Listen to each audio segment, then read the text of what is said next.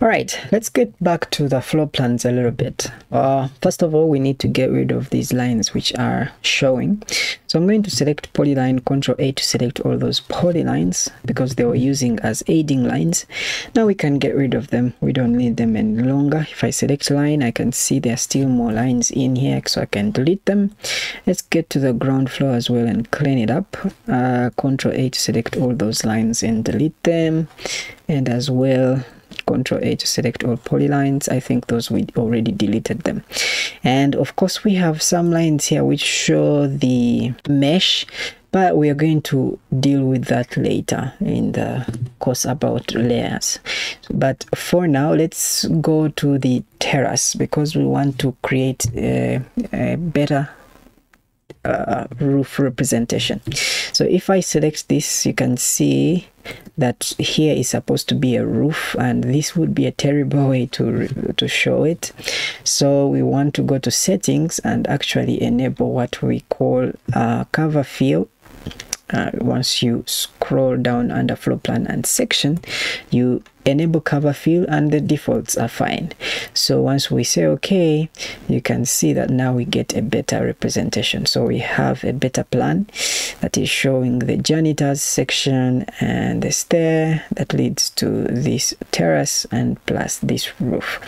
And of course we want the same thing for the roof plan. So when we go up you can see that we are seeing a lot of stuff here but uh, we are not supposed to see all that stuff. So we can just enable the cover fill remember we had turned it off because we wanted to see the things clearly but now we can turn it back on and now we have a better plan right? So if I remove the tracing plane you can see that we have just this as the roof plan. And as well if I go to the terrace you can see we have just this. Uh, so what I want to do is to actually create a better roof plan.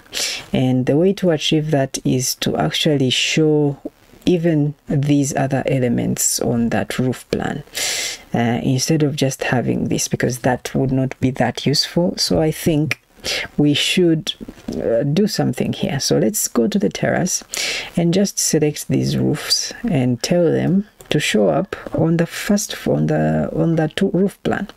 So let's go once we go to the settings we can actually decide that in floor plan display this is going to show on home story plus a story above okay? So once we select that and say okay now we have ourselves a roof plan which has this roof and has those two roofs. Pretty cool.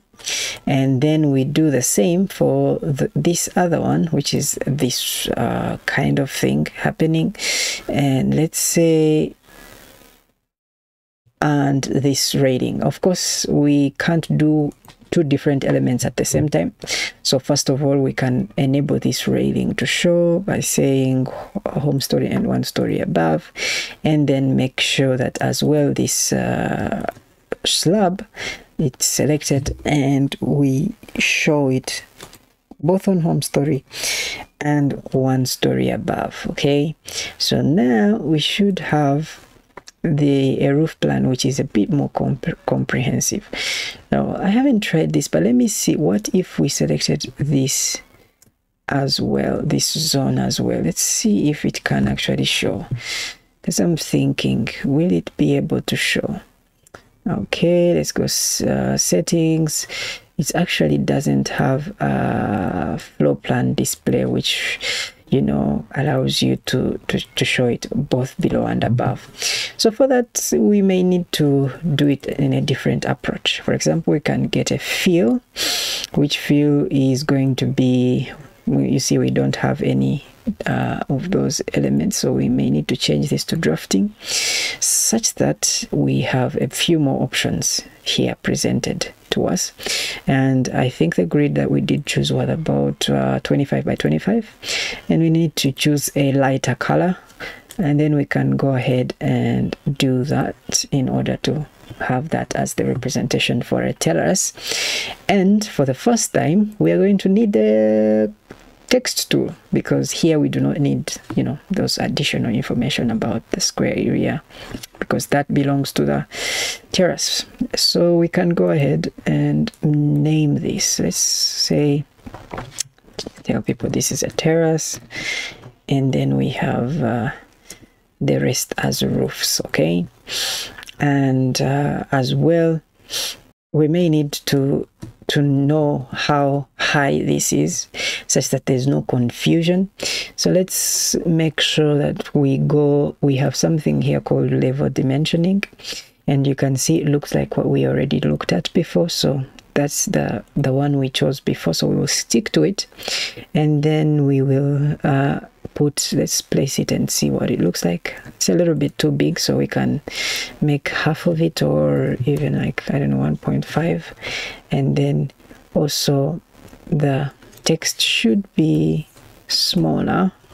Okay something like that just to show the level uh, the dimension there. I will pick it and have it also here to indicate the level to be at six meters because you can see that on the ground floor we have zero here we have three meters and then here we have six meters. I think if we go to the story settings that's what should be the case. So we have three meters and then we have six meters on the terrace okay?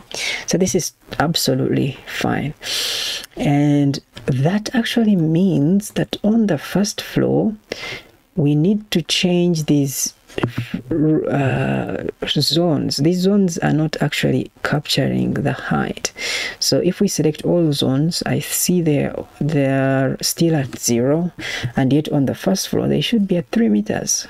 Why are they still at zero? Well i think it's because it's not automatic so we might need to go to settings and change the finishes and heights to make it three meters actually. Yeah because that's the truth uh, we need to have three meters height for all of these spaces. And on the terrace is where we get also six meters. So let's select all of them and go to settings. And in the settings we need to make these plus six meters okay? So let's go here in the drop down look for finishes and heights. And sneak in a six meter somewhere here because it's a custom text that you add okay? Uh, that's way better. It's much more representative of what that height is. Let's see. But you know this level dimension actually captures it because it's um, uh, does it well it does a much better job. All right so let's see. That that was uh, good insights. Now let's go to the terrace and we have to dimension this because uh, the rest are dimensioned but these ones are not. So in order to do that we have already seen how to dimension but we will do it again such that you know you get to remember. So once we say control a you can see all walls have been selected but we want to be able to get rid of these because these are not needed in while dimensioning this floor plan because they're under the roof.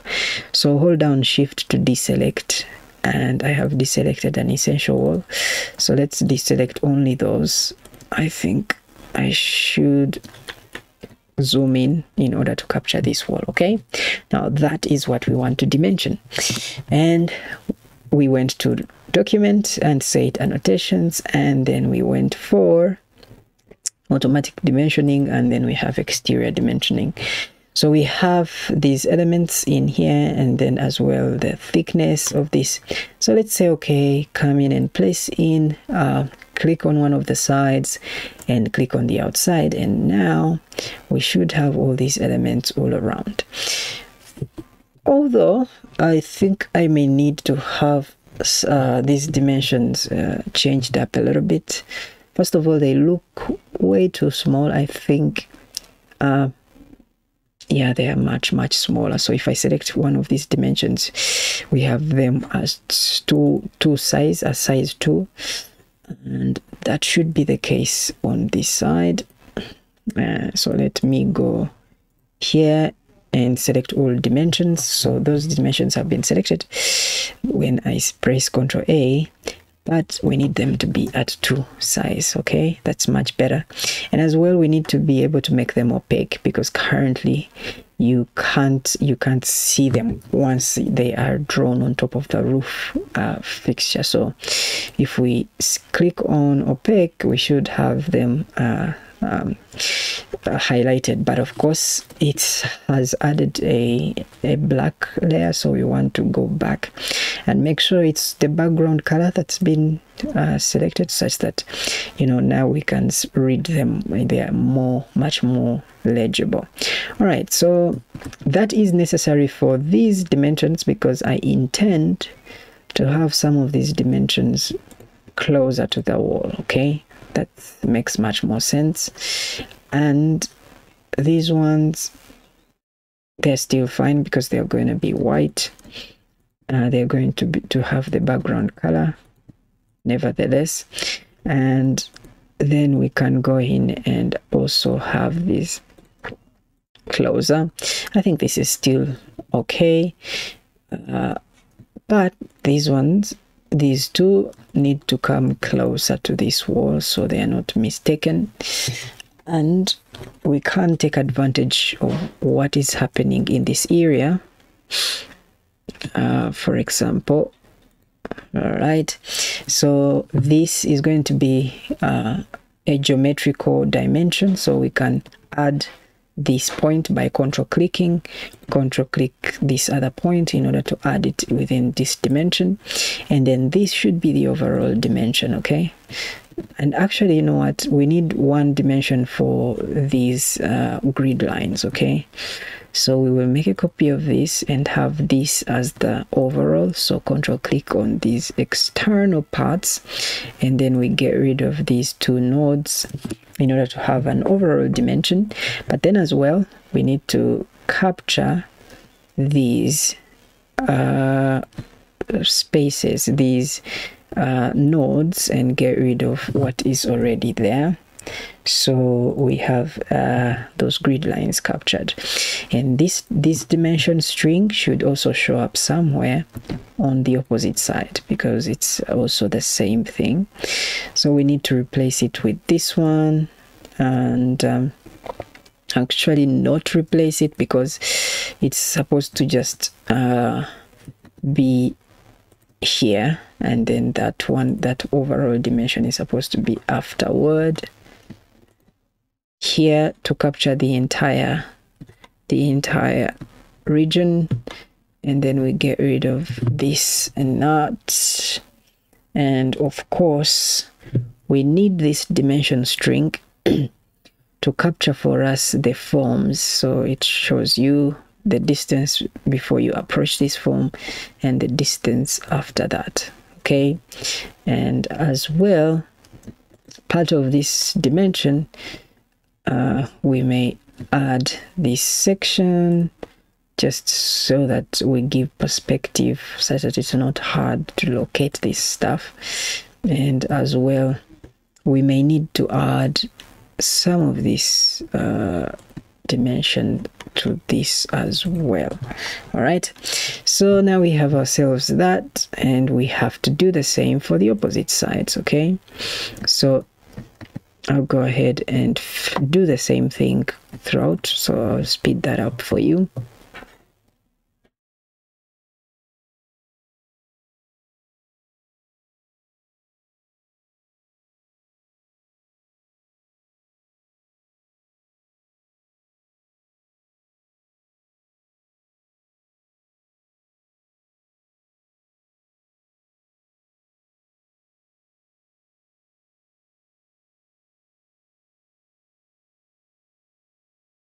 and that is much more like a better treasure terrace plan.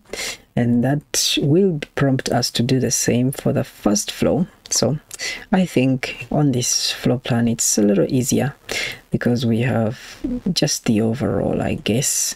We have the overall here making sure that the dimension is quite right. This should be two okay? Two actually all right and then we need to capture these forms okay? And then the final dimension is just the outside okay? And I'll do that even this other side.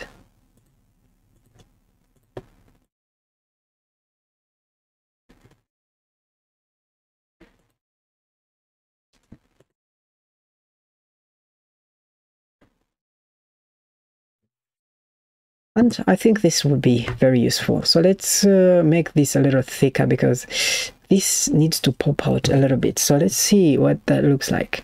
So we can see that by default, we have, if we go to the floor plan and section, the uncut line is by default uh, 0.13. So let's make it a little thicker, maybe 0.18, okay?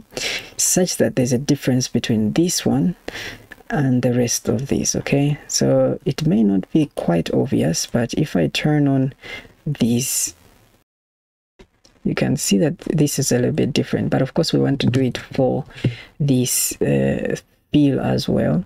So instead of just having it on the on the external let's have it also on the fill right? To have something like so which should clearly make a difference between this and that and that will be uh, seen in the print okay? So you can already feel that this is much closer than the rest of these elements.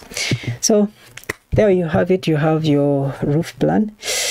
And as well we could highlight where the water is going if you if that's what you're into. You could indicate that the water is going to wash away to this other side. So let's put in here uh, an arrow and I think it's gonna be facing this other side. Let's make it way visible and I will choose a thick one. Like so.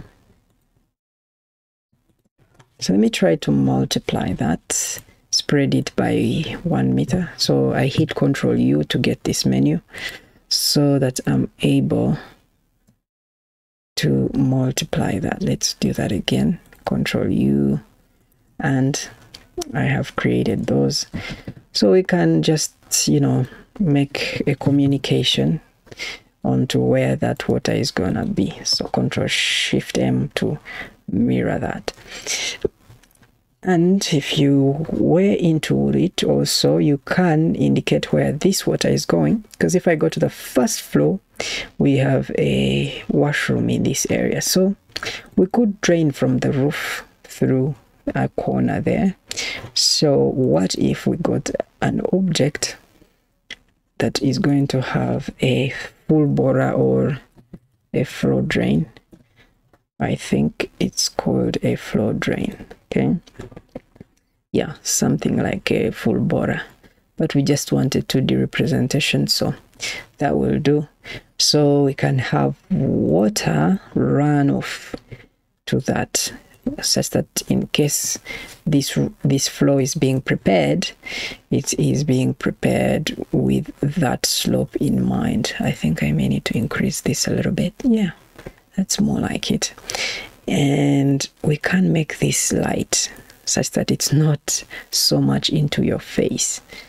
Maybe that okay? Control shift uh, m to mirror. And then I have that. So we have that water that is being collected in that pot okay? And uh, that's it for this video. I'll see you the next one